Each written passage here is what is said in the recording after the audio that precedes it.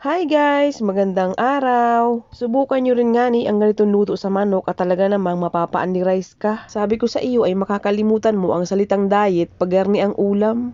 Parting pakpak nga ni iring nabili ko at pinahiwa ko sa dalawa. Mga anim na piraso nga iring nabili ko sa halagang 132 pesos. Naglagay nga lang ako dini ng konting asin. Ah, marinade ko nga ni muna ito na mga 20 minutes. Naglagay din ako dyan ng pinong paminta. Bawang na hiniwa ko laang ng pino. Naglagay din ako ng isang itlog.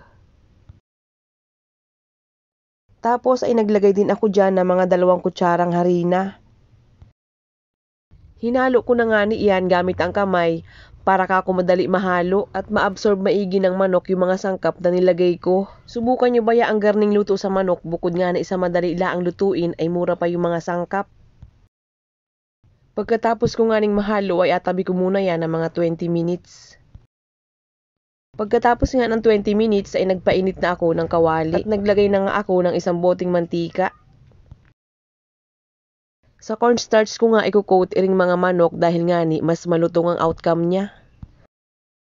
Ipa-fry ko muna ito ng mga light brown lamang dahil nga ni ido-double fry ko pa ito mamaya.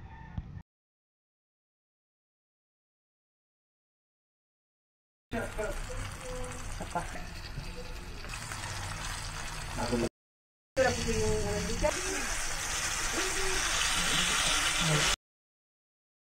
medyo nag light brown na nga ay binaliktad ko na rin.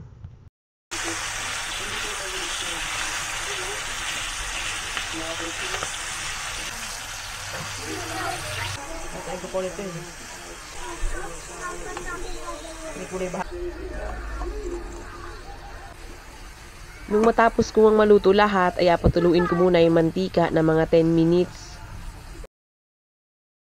Tinanggal ko nga muna dyan yung mga excess na cornstarch sa kawali. At pagkatapos nga ni ng 10 minutes ay pinainit ko ulit iring mantika at pinarito ko nga ni ulit iring mga manok sa malakas na apoy sa loob ng dalawang minuto.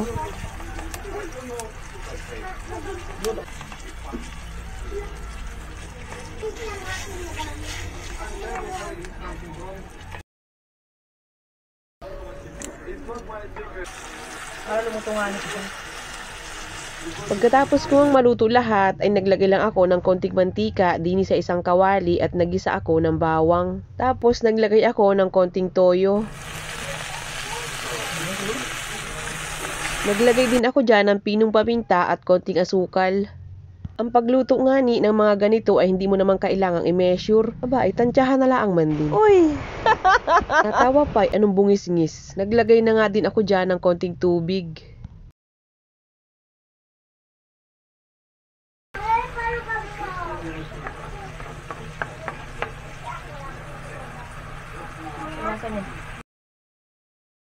Nung kumulo na nga ni ay isa-isa ko nang nilagay iring mga manok.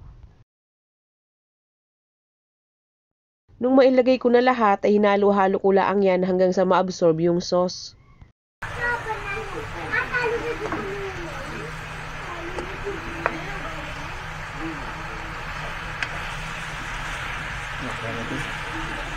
Pagkatapos ko nga ring mahalo ay pinatay ko na yung apoy. Aba ay anong kasunod ni Ri? Ah, ay ano na yun? Ay syempre kainan na. Uy! Aba ay syempre ang unang makainwari ay yung nagluto. Pagdating nga isa lasa ay talagang masasabi kong panalong panalo. Uy! Masarap naman talaga at hanggang loob nga ni ay nuot yung lasa. Aba ay awan na lamang kung makakapag-diet ka papagarni ang ulam. Aba ay subukin na ba ninyo iri at ay taubwara ang isang kaldirong kanin.